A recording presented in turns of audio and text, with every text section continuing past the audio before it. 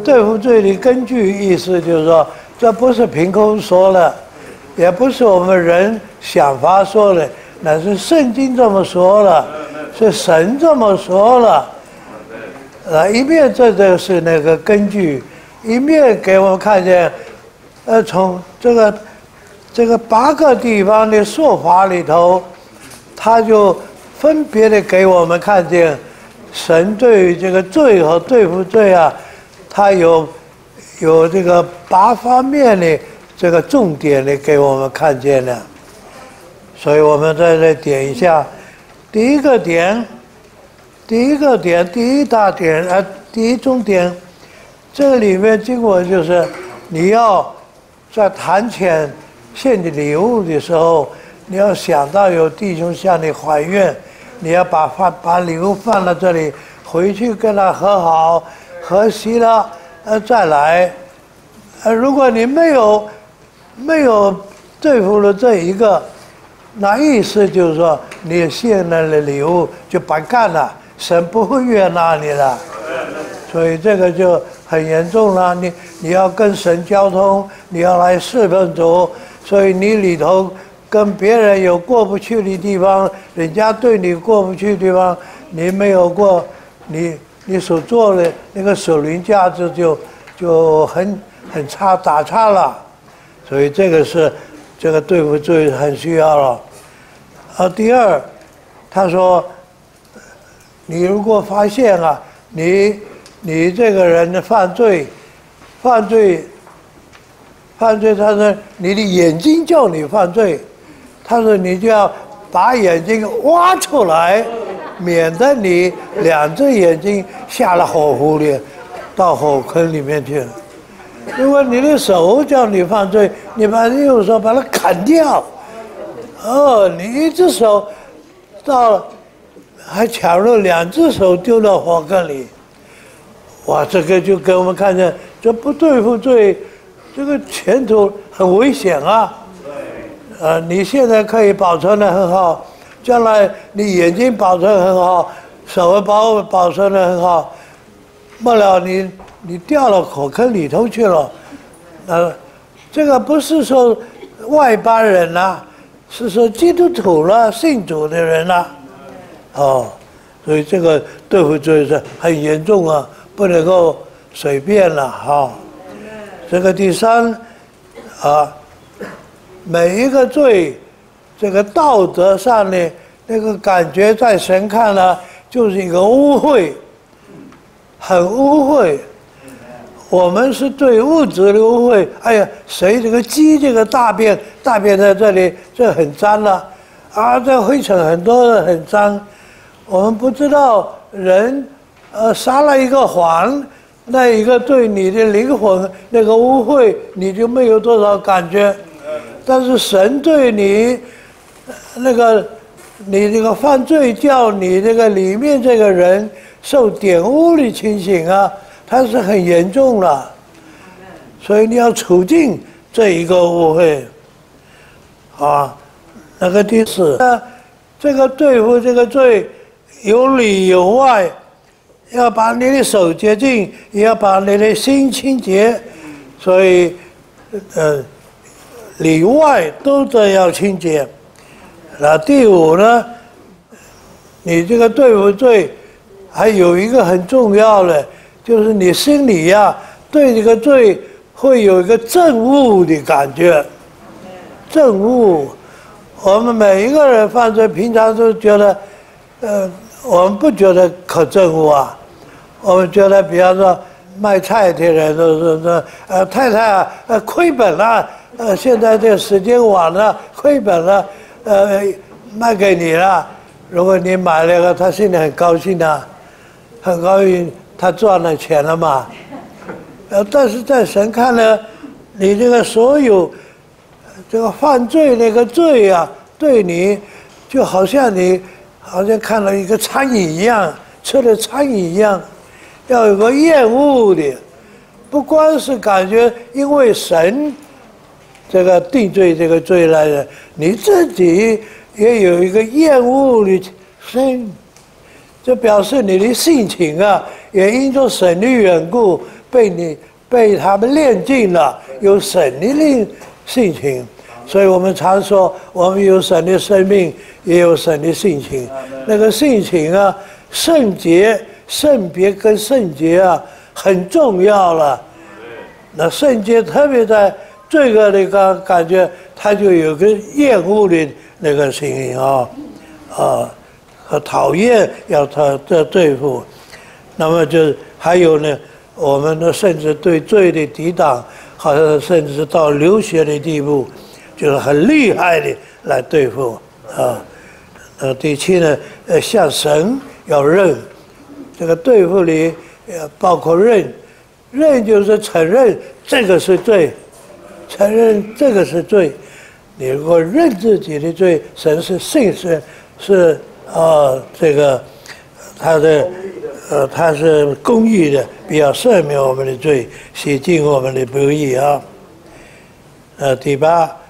就是一面要承认，一面要离弃这一个，不要一天承认了以后，呃，下下边下一个重点又犯了，又犯了，啊，要离弃这个。那第三个大点就是对付罪那个意义，什么叫做对付罪？什么叫做罪？什么叫做对付罪？那是反不义的都是罪。那么，请问什么叫做不义呢？简单的说，这个义呀，它就是公义、公平，好像有一条的线在那里，你过这个线啊，践踏了别人那个线呢，那个就变得不易了。我记得早期的时候，这个我们在台北的呃，这个教会生活最早的时候。很多人从大陆来的年轻的人啊，什么来读书或者做事，他们也没有家，所以在台北一会所啊，也有一个伙食团，伙食团呃有几桌啊，大家在那里吃饭。我我不记得有没有人在里头的，呃，这个搭伙了。那其中有一个弟兄啊，呃，那个得救以后也也有心啊。也参加那里，那他这个一起吃饭的时候呢，呃，这一桌，呃，大家祝谢祷告完了以后，他筷子一拿起来，如果这里有一个一一一盘的鸡啊，他啪一下，鸡腿就给他拿走了；如果这个是鱼啊，呃，啪一下，那个最好吃的部分他就给他了。他这吃菜啊，还不客气了。所以大家心里都是叫了菜老虎，有菜老虎。那菜老虎是不是罪呀？啊这个不义呀，不义。他这个我交了钱，这个应该钱应该吃嘛，应该吃了。但是你吃啊，只能吃，呃，如果是八个人一桌，你只能吃呃八分之一啊。你要顾一顾别人了，你顾不顾到了，这个就是不义了，所以你也是罪啊。那这个违背良心的行为也是罪，违背律法的也是罪。这个律法，它不光审的这十条诫命是律法，呃，并且啊，在这里各种的这个家里的家法、学校的法，呃。呃，社政府的法都算在一个。有一个弟兄啊，他对这个呃凭良心做事，那个是很注意来对付那对付罪的追求的时候，所以他走路啊，他走路在马路上一定是走了右边，走了右边。他说交通规矩是呃这个向右。靠右走，所以我这个人呢，也要走了右边。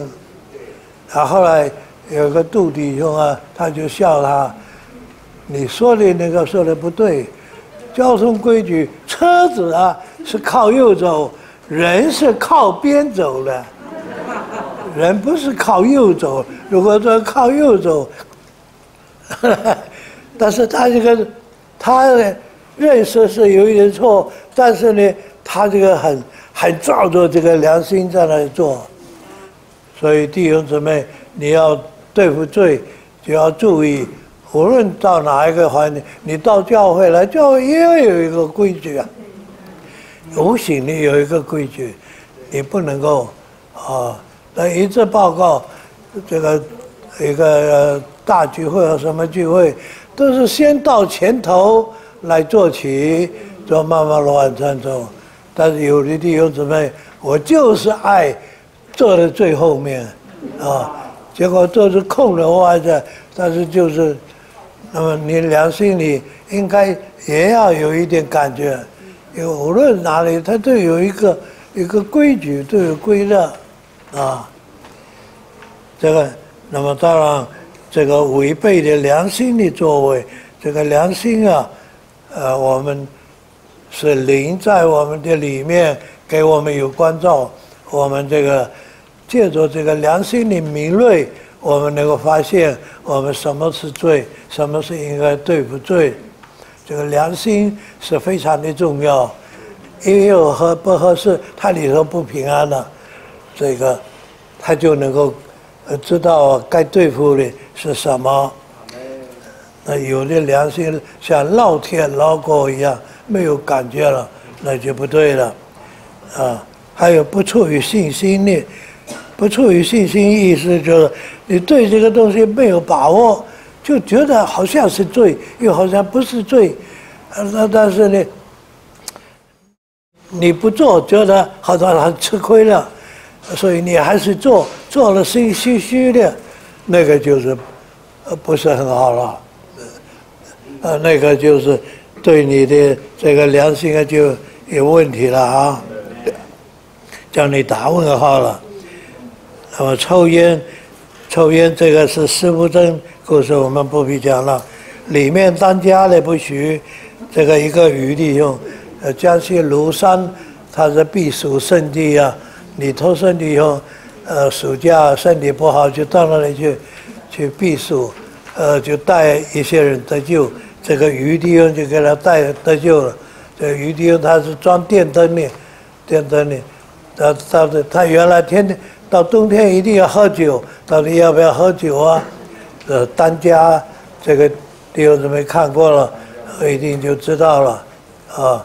所以你弟兄听见他后来来问这这一个，他说你弟兄这个余弟后来到了上海，碰到你弟兄，那你弟兄说到后到后来你有没有喝了水了，喝了酒了？呃，他说后来没有。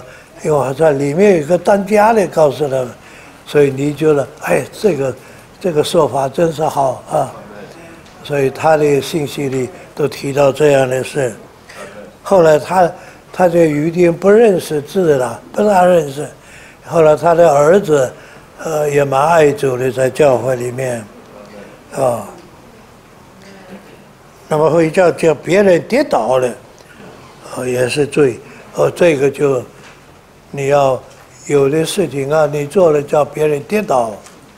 这里这个框框里一个叫路上戏言，这个很重要。第二个，每一个一定要看一看，因为不知不觉，你如果你在那里特别做全世间有侍奉、有责任的长老同工，若是身上有一些问题啊，人家看着你就被你绊倒了，那你这个。你所有的侍奉真是都是空了，因为你建造城墙、城建了墙、建了舞池，你把它拆掉了一站了，啊。那么第六，对付就是结出悔改的果子，意思就是你里头是悔改了，你外面一定有个果子能够呃产生出来了。那么也就是像楚教。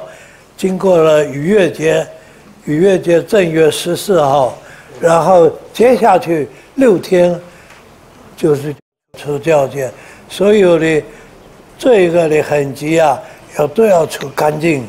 我们今天每一个得救的人我们经过了逾越节了我们一生之久都是出教了。那么所以他说三种对付这个一个罪一个世界一个良心。这个我想大家都知道啊。